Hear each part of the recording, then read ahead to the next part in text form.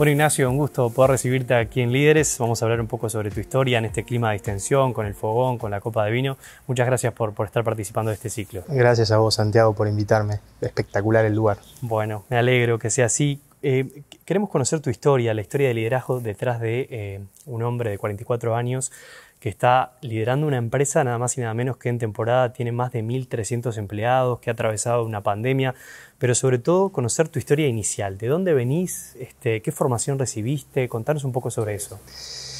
Bueno, mira, yo soy argentino, hace 12 años que vivo en el Uruguay, eh, nacido en La Plata, ciudad de las Diagonales, hincha de estudiantes de La Plata y de Peñarol, muy obviamente, muy futbolero, muy futbolero, pero mm, en La Plata hasta los 19 años que me fui a vivir a Buenos Aires, a estudiar a Buenos Aires, que fue una gran decisión inicial, ya que La Plata es una ciudad universitaria, pero mi padre trabajaba en ese entonces en, Buenos Aires y, me convenció en un dicho que tenía él que, Dios estaba en todas partes pero atendía en Buenos Aires, el mismo dicho que muchas veces escuchamos acá en Montevideo, ¿no? Eh, así que me fui a estudiar a Buenos Aires y bueno, después hice toda mi carrera universitaria ahí, mis primeros comienzos profesionales también ahí.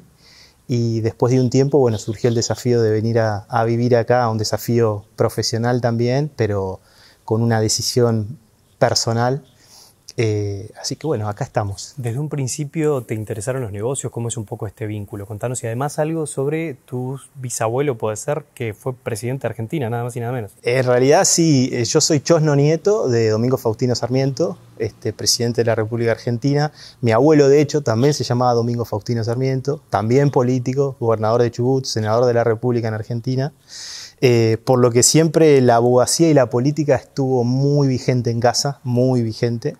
Eh, la oveja negra que decidió no estudiar leyes fui yo. Pero, a ver, mi padre siempre este, que venía a casa, él eh, trabajaba en una rama del derecho que es el derecho administrativo, que estaba muy enfocado en el tema empresarial y también público. Y papá siempre traía casos de empresas y, me hablaba y, yo le decía, quiero trabajar en eso, pero no en donde estás vos, del otro lado. Eh, y de chico ya me, me, fascinaban las empresas, mi padre me regalaba, me gusta mucho leer, y mi padre me regalaba libros de lo que hubiera que fuera de empresas. Este, me acuerdo, mi, mi primer libro así que me regaló fue uno de Microsoft, de la vida de Bill Gates. O sea que sí, ya de, entrada, este, de niño y, y, al día de hoy, si vas a mi oficina, colecciono libros de personalidades de negocios, desde desde Jack, el, de General Electric, Jack Welch de General Electric, a eh, McDonald's, eh, Pepsi, todas las compañías, siempre me apasionó mucho el mundo de los negocios. ¿Qué aprendiste de esos libros? Mira, aprendí algo que utilizamos mucho ahora durante la pandemia. Todos los líderes son muy resilientes, a pesar de los desafíos que, que tienen en sus vidas personales o profesionales, siempre en algún punto logran demostrar resiliencia a pesar de los desafíos que, suelen tener. ¿no? Eh, creo que el aprendizaje que, siempre me dejan es, ese. Ninguno la tuvo fácil, ninguno arrancó siendo este, un gran profesional y un gran empresario, todos eh, continuaron toda su vida aprendiendo, eh, por lo que siempre como que busco o me identifico con, con esas, esas particularidades. Está bueno con el programa acercar paradigmas. Por ejemplo, ese paradigma de que la gente tiene éxito porque tiene suerte. ¿Qué pensás sobre eso? ¿Qué pensás sobre esa palabra suerte que, que, muchas veces se utiliza para justificar la inacción y la responsabilidad que tiene uno, en definitiva, de caminar hacia el éxito? ¿no? Mira, eh, claramente el factor suerte siempre acompaña. La suerte hay que buscarla. Este, si uno, este, en mi caso particular, yo tuve muchas dificultades para lograr este, la posición que hoy tengo, tanto en mi vida personal como profesional.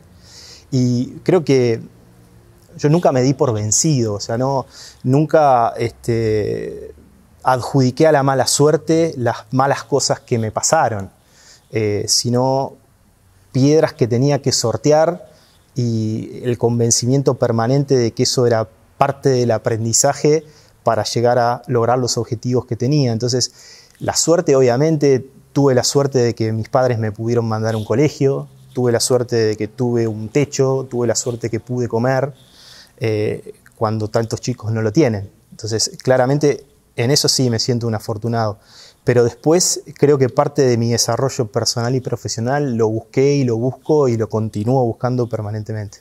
Ignacio, eh, la experiencia que has tenido en diferentes empresas, contanos un poco sobre eso, dónde arrancaste y qué aprendizaje tuviste de cada una de estas empresas que tienen políticas y formas de trabajar muy particulares que al momento de hoy, por lo que eh, eh, he tenido ah, información, posibilidad de acceder, este, al día de hoy las seguís aplicando. Por ejemplo, en Shell. Sí, mira, mi primer gran desafío profesional este, lo tuve en Shell a los 22 años, arranqué muy joven a través de una práctica profesional en la universidad. Yo estudiaba licenciatura en Administración de Empresas en Buenos Aires y a través de la bolsa de trabajo de, la facultad, eh, no porque fuera un gran estudiante ni tuviera grandes notas, yo siempre fui un, salvo en el colegio que, sí, como te contaba fuera de cámara, fui muy nerd, en la facultad era promedio, no era un tipo este, brillante, tenía notas este, promedio, pero siempre me busqué en moverme mucho internamente en la facultad, que supieran quién era, qué quería, conocía toda la dirección de la facultad, la bolsa de trabajo. Entonces, cada vez que aparecía una linda oportunidad, el primero que llamaban era a mí, o el segundo, pero estaba ahí. Y bueno, y me llaman a una oportunidad laboral, este, que era una práctica, una pasantía este, en Shell, que solo tenía la, diríamos, la condición que era por tres meses, ya que tenía que cubrir una posición que quedaba vacante este, en la misma compañía por un, por un, tema de maternidad de una, de una mujer. Eh, y bueno, y, entré como pasante y de, pasante al poco tiempo me, pusieron como contrato, de contrato efectivo y así fui creciendo en la empresa. Trabajé 10 años y siempre considero que esa fue mi gran universidad. ¿no? Ahí aprendí muchísimo de, management más allá de lo que había aprendido en la, en la, facultad. ¿Cuál es la diferencia entre ese Ignacio que entró a Shell y ese Ignacio que salió de Shell? Mira, no mucha. Ayer justo hablaba eh, con un ex colega mío, este, nos juntamos a, almorzar en, en, el Enjoy, él estaba de visita en Punta del Este, y hablábamos de algunos conceptos de management como los modelos mentales, ¿no? Y decíamos, Pensar que hace tanto tiempo que no nos vemos, tanto tiempo que no hablamos ni de negocios ni de temas personales y nuestros modelos mentales son muy similares. Es como que esas compañías, por eso siempre que hablo con, chicos o, que están saliendo de la universidad este, o, en sus primeros años, les digo, traten de tomar una buena decisión en el primer trabajo este, que tienen, busquen una compañía, una compañía que tenga una cultura organizacional similar a los valores que ustedes tienen, investiguen bien, si te gusta la sustentabilidad, que es una compañía sustentable, si te gusta una compañía global y sos un tipo global, busca una compañía global. Si podés elegir, trata de elegir algo que te forme a futuro, porque claramente eso es tu mejor universidad, ¿no? tu primer empleo. ¿Y después de Shell qué pasó? Y después de Shell, Shell en ese momento, este, yo como te contaba, trabajé casi 10 años en varios lugares de, dentro de Shell y Shell era una compañía tan de procesos y tan estructurada que, bueno, que tenías lo que se llamaba un... Era un plan de carrera, tenía un nombre muy técnico, pero es un plan de carrera. Y ese plan de carrera en, en mí particularmente se venía cumpliendo bastante a rajatabla. Y el siguiente paso era una expatriación. Y en ese momento la compañía estaba en un proceso de desinversión en Latinoamérica. De hecho, este, se había vendido la compañía acá en Uruguay, ¿te acordás que entró, entró Petrobras? Bueno, y estaba desinvirtiendo más que invirtiendo. Y las expatriaciones se estaban cortando más que promoviendo. entonces, esas alternativas cada vez las veía más lejanas y estaba tan convencido de eso que era bueno para mi desarrollo, como había sido todo lo anterior, que bueno, que apareció un headhunter y me, me propuso, fue muy cómico, porque me dijo, Vos te casaste en Uruguay, ¿no? Pues yo me casé acá, en Punta del Este, este, sin saber que iba a terminar viviendo acá, hace casi 16 años. Y, él lo sabía, esta historia, me dice, vos te casaste en Uruguay, ¿no? Sí. ¿Y pero por qué? me fascina Uruguay, en la refinería me dicen el uruguayo, porque andaba todo el día con el mate. Entonces en la refinería me dicen uruguayo, me encanta Uruguay, me encanta todo, los, valores, la forma, las personas, me, gusta, quiero vivir ahí. Me dice, bueno, tengo la, oportunidad laboral para vos. Y era una oportunidad laboral en Salus, compañía que, que hacía poco había sido adquirida por el grupo francés Danone. Eh, y bueno. ¿Qué cargo era en, ese, esa oportunidad? Eso era una dirección de recursos humanos, este era el número uno de recursos humanos de Salus. ¿Manejando cuántas empresas para tener un poco, a cuántas personas para tener? Mira, en ese momento Salus tenía alrededor de 300 personas entre planta y, y bueno, y, la, diríamos, el head office que está ahí en, en el buceo, eh, más o menos 300 personas. ¿Y en el caso de Shell, a qué cargo llegaste antes de ir? En el cargo de Shell llegué al, diríamos, al máximo dentro de mi función, que era gerente de recursos humanos, para el área de refinería, distribución, tenía varias, varias funciones. Bueno, ¿y de Salus cómo siguió todo? Y bueno, y de Salus, este, en ese momento, yo no sé si te acordás, eh, porque fue bastante comentado, hubo una ocupación de la planta de Coca-Cola, un tema sindical bastante bravo, hubo una ocupación de la planta de Coca-Cola. Y en ese momento, quienes estábamos en la industria, colegas míos en Fábrica Nacional de Cerveza, en Coca-Cola y yo que estaba en Salus, todo por la Federación de la Bebida, teníamos que negociar con nuestra contraparte que era Richard Reed, eh, llegamos a una negociación muy buena, em, que fue el primer convenio colectivo o de los primeros que tuvo el Uruguay que incluía las cláusulas de productividad dentro del convenio colectivo. Estábamos muy lejos entre lo que pretendía, diríamos, el sindicato, la FOEB, y lo que podíamos este, dar las empresas. Y en ese momento, este, eh, negociando con, Richard, eh, surgió la posibilidad de incluir estas, estas cláusulas de, productividad, que fueron excelentes, excelentes, tanto para los trabajadores como para las empresas. Y, bueno, hizo eso bastante ruido. Yo creo que hizo bastante ruido en los medios, este, dentro del ámbito profesional. Y con Aprole, que es una compañía que tiene bastante complejidad también del punto de vista sindical y que para mí, entre paréntesis, es la mejor compañía del Uruguay por lejos. ¿Por qué?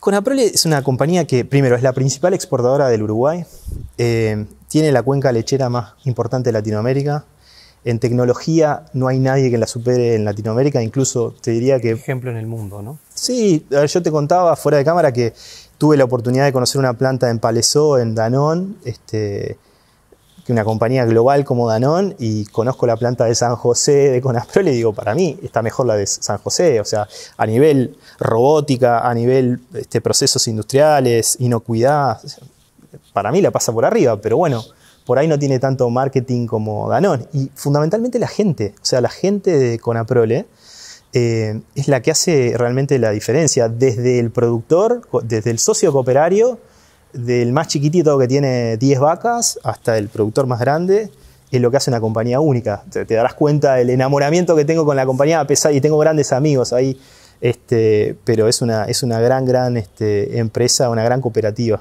Eh, así que bueno, me fui a trabajar ahí, estuve unos tres años y pico trabajando ahí. Todas estas canas me salieron también ahí, porque la verdad que este, fue bastante compleja mi adaptación inicial, yo la sufrí bastante. ¿Con cuántos años estamos hablando que tenías en esa eh, Ahí tenía 34.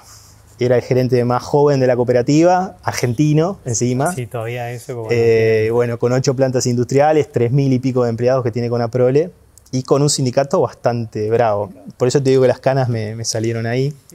Pero fue un gran aprendizaje porque para mí era venir de compañías multinacionales como Shell y Danone a una cooperativa nacional, a conocer realmente el Uruguay, porque yo hasta ese momento conocía Montevideo y Punta del Este. Con Aprole me permitió conocer este, el país entero, conocer los distintos Uruguays, las distintas culturas que hay acá, y me enamoré de la compañía y del país. Ahí fue cuando definitivamente le dije a mi mujer, no nos vamos nunca más de acá. Eh, porque ahí este, no era solo lo hermoso que es Punta del Este o, la gran ciudad que es Montevideo, sino este, conocer el Uruguay todo. ¿no? Bueno, Ignacio, contanos eh, cómo es tu proceso después de Conaprole. Eh, ¿qué, ¿Qué siguiente salto diste en tu carrera? Después de Conaprole este, apareció la oportunidad de trabajar para otra compañía multinacional, también de consumo masivo, que es eh, Nestlé. En Nestlé tenía también una posición eh, de, diríamos, de máxima responsabilidad dentro de mi función. Yo siempre trabajé muy relacionado al área de, personas, si bien este, después fui adquiriendo otras, otras funciones más y, y profesionalizándome un poco mismo dentro de las empresas, un poco porque las empresas lo requerían o porque yo también tenía esa necesidad. Eh, y Nestlé fue un, cargo regional, pero desde Uruguay. Eh, lo que suponía que este, mi vida cambió bastante fuerte en cuanto al tema viajes. Claro. En Conaprole yo viajaba mucho, pero dentro de, digamos, del interior, no, no era más que, que Bueno, ir a alguna planta. conociste Uruguay, ¿no? Claro, Porque en sí. profundidad, digamos. Sí, por ejemplo, no había conocido Rivera hasta, hasta no haber trabajado en Conaprole. Eh, pero eran viajes dentro del Uruguay.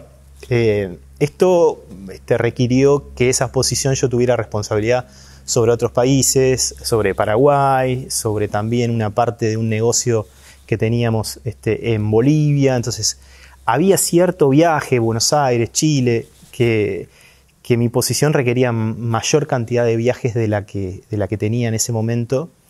Y, y bueno, y estuve ahí trabajando con un desafío bastante lindo, porque en ese momento era el momento que teníamos que definir dónde iba a estar instalada la nueva planta. Este, después se terminó comprando el terreno donde se instaló la nueva planta de Nestlé, la elegimos nosotros, fuimos con, con todo el equipo a, elegir el predio, la localización, pensar a 50 años, a ver si dentro de 50 años esa planta iba a estar bien ubicada. La verdad que fue un lindo, un lindo proceso este, que tuvimos que atravesar, pero como te decía, el tema de los viajes y un tema personal mío que hacía mucho tiempo que estábamos buscando con mi mujer, que era ser padres, Un me proceso- cambió un proceso larguísimo también, un ¿no? proceso muy largo, sí, la verdad que estuvimos este, casi siete años hasta, hasta poder tener a nuestra hija Catalina, fue un proceso bastante Y hay largo. que tener y la cabeza fuerte también. ¿Cómo hiciste para compatibilizar un poco el- tu trabajo con todo este proceso personal con tu mujer? Mira, ahí fue bastante bravo, por sobre todo este, la que más sufre ahí generalmente es la mujer. Este, eh, pero bueno, fue acompañarla, este, seguir, no, no, no dar los brazos este, a torcer ni, ni bajar los brazos. Creo que un poco también eso que hablábamos de, eh, de lo que me acompañó en mi carrera me acompaña también en mi vida personal, ¿no? O sea, es, muy difícil que yo diga que, que no va a poder ser. Eh, la verdad que tengo una mentalidad donde si me propongo algo, habitualmente lo logro, a pesar de que genere mucho esfuerzo y también sufrimiento, pero intento lograrlo. Y cuando logramos eso, fue como una, no digo una crisis, pero sí un momento en mi vida donde me replanteé muchas cosas, ¿no? Hacía muchos años que trabajaba en el mundo corporativo, el mundo corporativo es muy exigente, muy demandante, muy competitivo. Eh, sentía que necesitaba estar al lado de mi mujer, atravesar juntos ese, ese periodo. Ya tenía mi buena espalda financiera como para decir, bueno, este es el momento de emprender. Siempre había querido emprender, tenía también esa, esa chispa emprendedora. Y bueno, y me lancé, hablé con mi jefe, me acuerdo, este, un chileno, este, que trabajó por una compañía chilena, mi jefe era un, un- jefe chileno que tenía en Nestlé, y le conté y se sorprendió, porque obviamente no se lo esperaba, una persona que va a ser padre que, que renuncia a su trabajo es como medio... Sí, uno normalmente es la estabilidad, un de shock, cosas, claro. Eh, pero nada, le expliqué y me entendió. Me Y ahí quisiste abrir tu propia Ahí consultora. abrí, ahí un- abrí mi propia consultora. Hacemos un parate porque quiero preguntarte, ya vamos a hablar un poco de, de tu propia consultora y este proyecto de romper la dependencia y empezar a trabajar para vos mismo, que en definitiva es la esencia de emprendedor. Pero contame, eh, siempre hay muchos empresarios y gente que está en cargos gerenciales que comenta que lo más difícil es trabajar con personas. Y en todo este proceso trabajaste con miles de personas, le podemos decir, inclusive hoy en Enjoy, con mil fijos y son más de 1.300 en temporada, ¿no? ¿Cómo haces para trabajar con eso, para convivir con los sindicatos, con, con todo ese, ese vínculo laboral muchas veces estresante. Contame un poco de eso. Te lo resumo muy fácil, me gusta, Bueno, me encanta. Pasión, Me, pas- me apasiona, sí, sí. es me- fundamental eso. Me, me apasiona estar con gente, armar equipos, liderar equipos, este, armar, eh, desarmar, juntar, eh, motivar, eh, atraer, retener, todas las, diríamos, las, los tildes que tiene el área de personas siempre me apasionaron este, de chico. Em, creo que hoy día donde, donde estoy liderando la, la empresa tiene mucho de, armar equipos, de, de, de buscar un sentido del propósito, de tener una excelencia del servicio y todo eso se consigue a través de las personas. Eh, muchas veces escuchamos a las compañías o a los mismos empresarios que hablan de la base de la pirámide, es las personas, y te ponen people, y después te ponen finance, ah, y, y te arman la pirámide, y, al re- y generalmente es al revés. La gente está primero. Eh, y para mí esa- eh, la gente está primero. Y- y eso es clave. Y si vos realmente en tu forma de ser y en tu forma de manejarte sos próximo con las personas, yo dentro te lo puede contar la gente, yo digo cualquier compañía en la que yo haya trabajado, la gente conmigo tiene una cercanía que me dice Nacho, que me pregunta, que yo sé ah, cómo están sus hijos, cómo está su familia. Eh, me considero una persona cercana y nunca me puse el rol de, ah, soy el gerente general de Enjoy. No, la verdad que no, no lo hago, no lo siento y, eso creo que me genera este, una relación distinta con las personas que son las que te, eh, te permiten conseguir tus resultados. A la larga, son ellos. Bueno, ahora sí contame cómo fue esto de emprender, eh, cómo te preparaste, eh, los miedos iniciales, hablemos un poco de eso. Bueno, eso fue bien bravo porque si bien yo tenía buena experiencia en el manejo de las herramientas, en todo lo que tenía que ver con el negocio de la consultoría que, que iba a emprender, este, consultoría empresarial, ese era, consultoría empresarial, pero más que nada enfocado en temas de, personas, ¿no? Compensaciones, beneficios, atracción y retención, motivación, coaching. Teníamos temas de, obviamente, de selección, eh, pero yo no tenía, o por lo menos pensaba que no tenía, la beta comercial. Eh, y la verdad que también para mí fue un descubrir que podía sentarme frente a un gerente general o a un director de un área de una compañía y venderle mi producto y venderle mi consultoría y contarle respecto de nuestra empresa y, eso funcionaba, ¿no? Qué difícil que es venderse, ¿no? A veces. Sí, sí. Este, la verdad que cuesta sobre todo cuando estás empezando y no tenés, teníamos el bagaje de tener compañías que te van respaldando, eh, tenés que vender una idea, tenés que vender un proyecto, tenés que mostrarte que lo que haces vos este, es mejor que lo que puede hacer una compañía multinacional en las mismas condiciones que lo estás haciendo vos. Entonces, la verdad que fue un gran desafío, sobre todo ese prospecting que uno hace con los clientes, ¿no? de sentarse y tratar de vender la compañía. Eh, pero, pero fue muy bueno, la verdad que estuve casi otros tres años con eso. Eh, entre mis clientes eh, principales estuvo Enjoy pero tuve clientes en todas partes del mundo. Tuve a Liberty Mutual en Estados Unidos, a Vanderlande en Europa. Eh, muy atorrante yo. La verdad que de sentarme en un hotel, tener reuniones, este, convocar gente, este, vender nuestra empresa, convocar gente que haya trabajado conmigo, contarles del proyecto, embarcarlos en el proyecto, que trabajemos juntos. Eh, utilizábamos mucho las plataformas cuando todavía las plataformas de, Zoom y todo eso no, no estaba muy visible nosotros nos juntábamos con un cliente desde todas partes del mundo, nos poníamos las cámaras y vendíamos nuestro producto con todos profesionales de alto nivel. Eso impactaba mucho al cliente, ¿no? Me acuerdo de la reunión que tuve acá en Enjoy, este, que nos juntamos todos en conferencia con, la persona que estaba como gerente general acá y le mostramos desde todas nuestras locaciones la, diríamos, el expertise que teníamos y eso vendía. Eso vendía este, y era algo que hasta ese momento no se utilizaba tanto. ¿Cuál fue el primer cliente? ¿Te acuerdas de eso? Mi primer cliente fue eh, Vanderlande, una compañía, Vanderlande es una compañía holandesa, eh, me contrataron en Barcelona, eh, es una compañía, todo lo que tiene que ver con cintas este, para aeropuertos, las que trasladan las maletas, bueno, es una compañía que hace todo lo que es automatismos, transportes, hacen también cintas las que para caminar dentro de los aeropuertos. Eh, y fue a través de LinkedIn, eh, fue este, esto de hacer, viste, hay gente que hace las cold calls, la llaman, que es llamar y, venderte. Yo me presentaba por, por LinkedIn, eh, contaba un poco lo que hacíamos.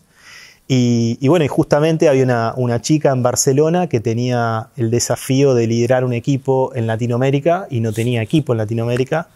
Y, y, son esas cosas que es ir a buscarla. O sea, ella necesitaba lo que yo ofrecía y yo justamente necesitaba mi, mi primer cliente y nos juntamos en Barcelona, me tomé un avión, o sea, súper arriesgado y muy costoso, pero, pero ese fue mi primer cliente que nos encargó una, diríamos, era una encuesta de compensaciones para toda Latinoamérica, para su equipo y después un reclutamiento de todo el equipo acá en Latinoamérica.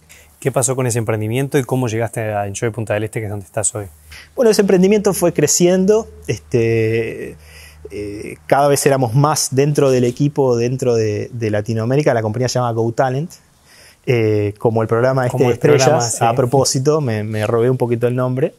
Y, obviamente enfocado en temas de talento. Y, bueno, y entre los clientes que, que empecé a prospectar, encontré a Enjoy, que en su momento me había querido contratar cuando yo estaba trabajando acá en una compañía en Uruguay, no voy a decir cuál, pero me habían querido contratar y no nos habíamos puesto de acuerdo en algunas cosas.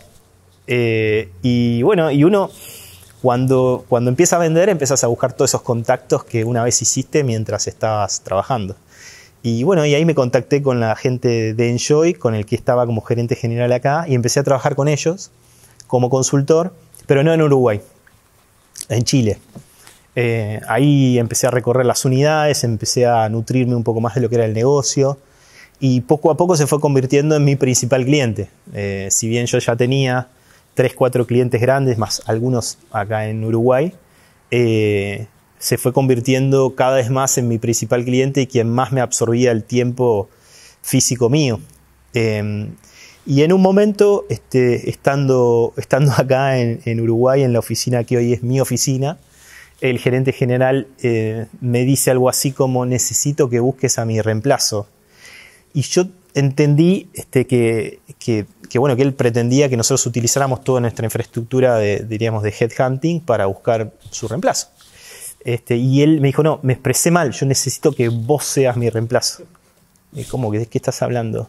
Sí, sí, necesito que vos te quedes a trabajar acá en mi lugar, porque yo me vuelvo a Chile y hablamos con el directorio y creemos que vos sos la persona indicada para ocupar esta. ¿Y en ese momento qué se te pasó por la cabeza? Y en ese momento pensé este, muy fuertemente todo lo que habían construido ese momento con la consultora, ¿no? Dije, pucha, porque en principio cuando uno entra en la universidad, lo que más, por lo menos lo que más deseaba yo, era ser el número uno de una compañía. Y, hasta, hasta, este, hasta ese momento no lo había conseguido. O sea, había tenido cargos de, alta dirección en muchas compañías, pero nunca había sido el número uno. Y eso en la cabeza, cuando uno tiene su ego profesional, te va, te va mordiendo. Y, y esa era la oportunidad. Y la consultora era algo que, diríamos, había funcionado muy bien estaba yendo muy bien, pero también eh, era algo que yo podía poner a un hall y que sentía que todavía era joven, como para que el día de mañana, si eso volvía a suceder, volver a emprenderlo, ¿no? Y bueno, y tomé el desafío eh, hace cuatro años y medio, ya que estoy como gerente general en Enjoy.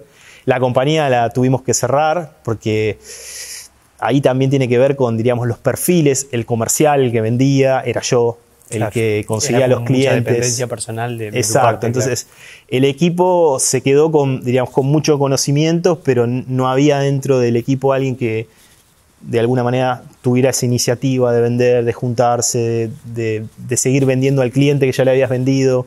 Entonces, bueno, se fue apagando y, y bueno, y se apagó y después cada uno siguió con sus propias consultoras en sus países lo que no significa que en algún momento volvamos a, reunirnos. Y en estos cuatro años en Enjoy, recién hablabas de que tuviste que cerrar la consultora. Enjoy también lo tuvieron que cerrar en esta pandemia. ¿Cómo hicieron para mantener ese monstruo gigantesco con tantos empleados que además la estrategia que utilizaron terminó siendo caso de éxito en Estados Unidos? Contanos un poco sobre esto. Bueno, sí, la verdad que lo de Estados Unidos es un orgullo tremendo porque la Universidad de Yale nos eligió como un caso de estudio. De hecho, la semana pasada estuvieron 25 estudiantes que vinieron este, exclusivamente al Uruguay a, recorrer el Uruguay y algunas empresas y entre ellas este, nos eligieron a nosotros para que les contáramos el caso. Eh, la verdad que es un orgullo muy grande viendo lo que pasó eh, durante la pandemia y lo que tuvimos que atravesar, que fue eh, en una lámina, yo se los ponía a ellos, le puse The Perfect Storm in Paradise, porque yo les venía hablando de de Uruguay, de Punta del Este, de lo que era esto, que era un paraíso, y que de repente habíamos estado en una tormenta perfecta, porque pensá que para nosotros no solo fue la pandemia, sino que Enjoy como compañía venía de un octubre de 2019 con crisis social muy fuerte en Chile, acordate todo lo que pasó en Chile, eh, todos nuestros hoteles ya a partir de octubre del 19 estaban cerrados, después vino la pandemia en marzo del 20, en abril del 20 eh, se decretó una reorganización judicial, que es como una convocatoria de acreedores en nuestra, este, en nuestra compañía madre. Eh, teníamos la negociación del convenio colectivo del, Consejo de Salarios en, junio. La verdad que era. Era catastrófico, ¿no? era una tormenta perfecta. Y justo empezó a llover. Eh, la verdad que fue, fue bien bravo, pero así como te decía antes que que lo que me apasiona son las personas, creo que la forma de salir y la forma en que nos reconvertimos y nos fortalecimos y hoy día estamos operando más fuertes que nunca fue a través de nuestras personas. Eh, nosotros tuvimos que tomar la determinación de cerrar por primera vez después de 23 años. La verdad que es una, el hotel es un lugar que trabaja 24/7 todos los días del año, este, no, no, para, no había parado durante 23 años y, me acuerdo muy bien de la llamada que me hicieron desde el Ministerio del Interior ese ese 13 de marzo que, me llamaron y me dijeron, este Ignacio, tenés que cerrar. Fue durísimo porque se estaban cerrando las grandes superficies, los, los, shoppings, no, no, se, sabía bien qué pasaba. Fue, la verdad que fue muy bravo, pero mm, la verdad que eh, tenemos un equipo muy bueno este, eh, de gente, este, es una gran familia, Enjoy es una gran familia. Pensá que antes de ayer celebramos los 25 años de 231 funcionarios. Eso te da la pauta de, la cantidad de años que hace que trabaja nuestra gente, eh, de lo que quiera la empresa. Y, bueno, y tomamos la determinación de, que, lo que lo que teníamos que hacer sí o sí era cuidar a, lo que por ahí suena muy frío lo que te voy a decir, eh, pero yo considero que nuestro principal activo es nuestra gente.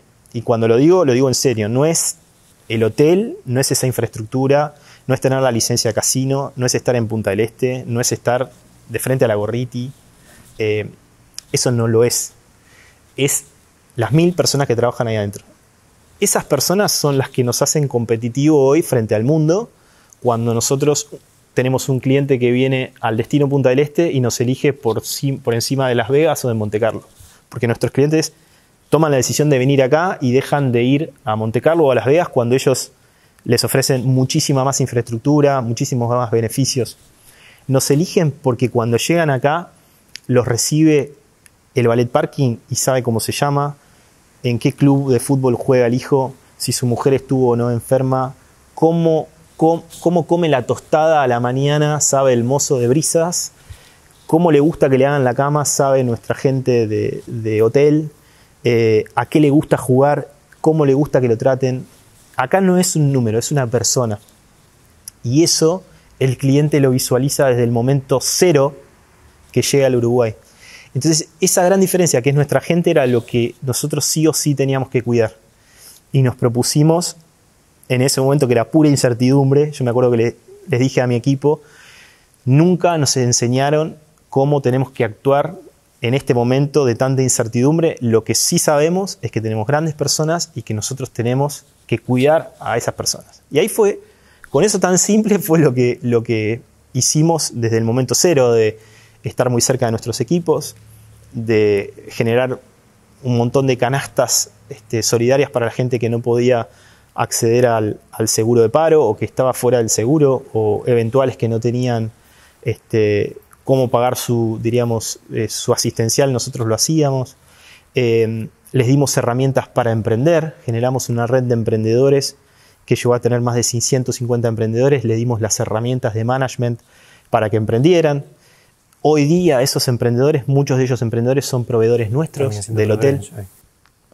Les dimos herramientas psicológicas, toda la red psicológica interna que tenemos de psicólogos dentro de recursos humanos, de marketing, trabajaron ad honorem para dar soporte en ese sentido. Eh, los capacitamos durante la, durante la pandemia este, para estar cerca de ellos. Invertimos en una capacitación de excelencia en el servicio de Disney. Fue el foco las personas y el mayor orgullo que tengo yo como líder de esa organización es que en el medio de esa tormenta, donde nos habíamos quedado sin vela, sin mástil, sin motor, se había roto el timón, ni uno solo se cayó al agua. Eso significa que ni uno solo fue despedido, ni uno solo tuvo que dejar la empresa, cuando muchas empresas de la región y de la industria en general eh, tuvieron que cortar personal fuertemente porque no tenían ingresos. Nosotros estábamos en la misma situación de no poder generar un dólar de ingreso pero nos propusimos que nadie, nadie se cayera del barco. Y eso obviamente no lo hicimos solos, ¿no? Eh, tuvimos el apoyo del gobierno nacional a través de las herramientas que tiene el Estado uruguayo, eh, lo hicimos con el, porte y soporte de, nuestra compañía madre, eh, pero principalmente lo hicimos nosotros como equipo. Ignacio, en minutos tenemos que hacer una pausa, pero quiero saber cuál es tu visión del éxito, qué es el éxito para, vos, para Ignacio Sarmiento, y quiero saber también eh, qué consejo le da el Ignacio Sarmiento hoy, el de 44 años, a aquel que recién empezaba a trabajar en Shell. ¿Te animás a responderme esto? ¿Ahora? Después de la pausa. Dale. Ya venimos, quédense ahí.